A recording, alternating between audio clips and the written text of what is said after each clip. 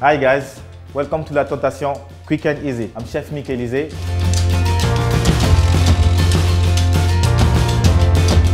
Today I'm going to show you a simple party food. So we will do a bruschetta, chicken lollipop and a verrine of beetroot. So I got all my ingredients here. I need my bread, I need breadcrumb, parmesan, peppers. I got avocado, tomato, red onion, cucumber, chervil, chicken, shallot, all the stuff is here. Let's start the party then. So first thing, I will start to cut my ciabatta bread. This is Italian bread, one of the best for canapes. Let's cut slice like this. All right, now my ciabatta is cut. I'll put it straight on my tray and after that in the oven for five to six minutes. Actually until they get golden, brown and golden. A bit of salt, a bit of pepper, some olive oil, just a little bit on the top. So now we're ready to go in the oven, okay, for five to six minutes. And my oven is at 118 degrees. So now my ciabatta, my ciabatta bread is in the oven. I will start to do all the mix going on top of the ciabatta. So is a tomato. Let me cut my tomato. Cut in half. I need diced of red onion. To cut your onion, first of all you cut it on this line, then after horizontal one. So just small dash like this. Everybody can do it at home. I'll cut the tomato in the same way as well. First of all, vertically, then horizontal. Don't worry if you got your tomato juice everywhere. That means your nice tomato. All of this go on the bowl. The next thing, my avocado. Same way as well, I'll do small diced. When you buy your avocado, your avocado, make sure your avocado is very firm. The best avocado to buy is from Africa or Caribbean. They are most the best one.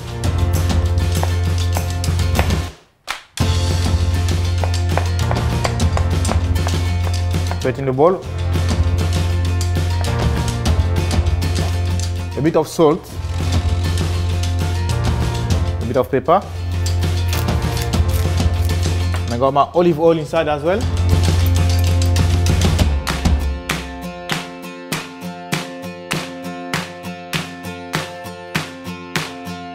A bit of sherry vinegar, one spoon of parmesan as well. Et voila.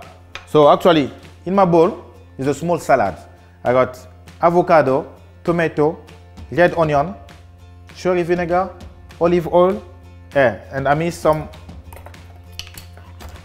yellow pepper.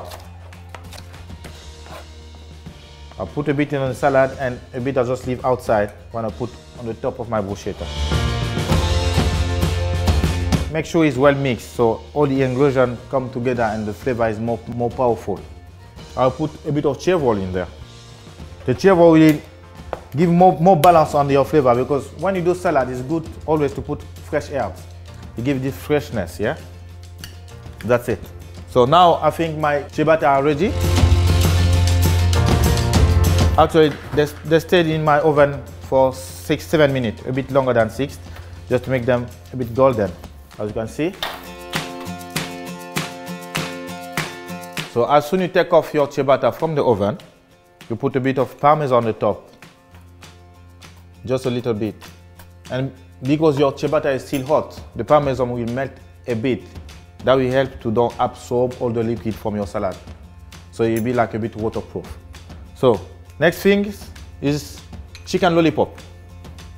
I got a nice piece of chicken breast here. You can use chicken legs, but you trim it, you just keep the shell, or you can use a thigh, any part of chicken, because you have to dice it very finely after that.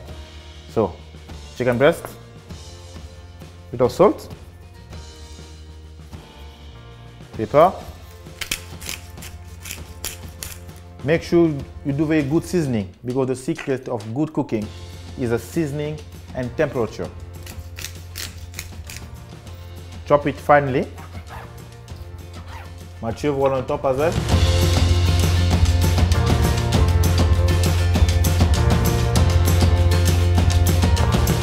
So I chop it very finely. I put the shallot inside as well. Chop them together with the chicken and chervil, salt and pepper. Mix everything. That this good combination is for the test, yeah. That's it. So I got like minced chicken here.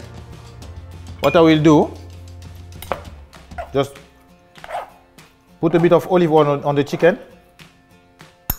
Yeah. What I will do, take a little handful, roll it up like a small lolly, you know, like a lollipop, like small like this.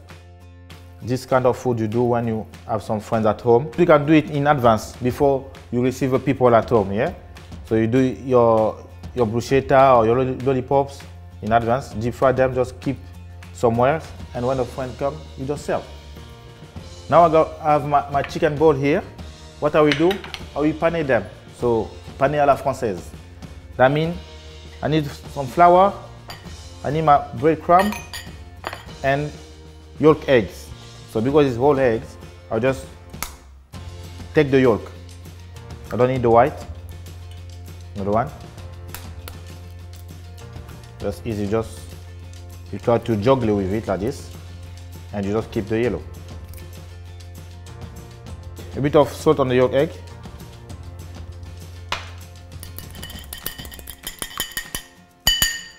When you do your panure, the first thing is to start in the flour. I mix this through in the flour. Then next thing, in my eggs. And the third thing, in the breadcrumb.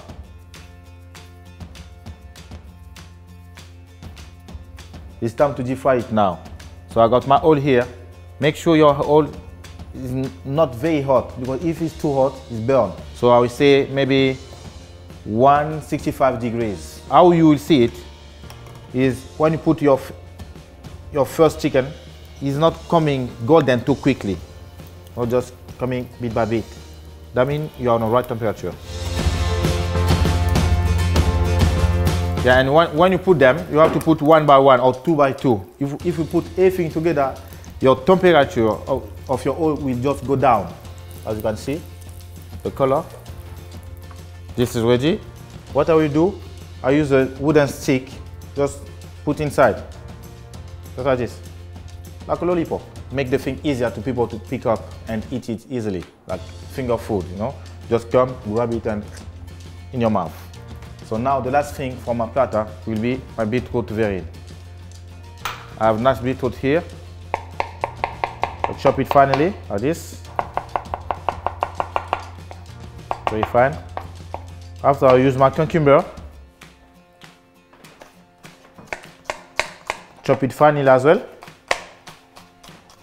So once you have everything on the pot, add some olive oil and sherry vinegar.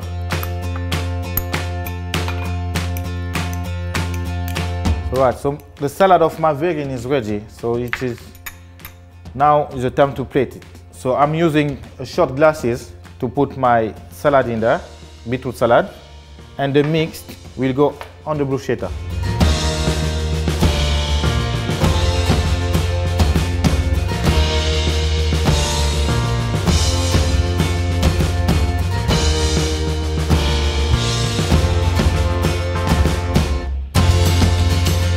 Then my lollipop, just put here. Voila. Here you have your party platter. Bruschetta, beetroot salad, and lollipop chicken. Excellent chicken. So for any information about me and about this recipe, please just check the link below and see you next time.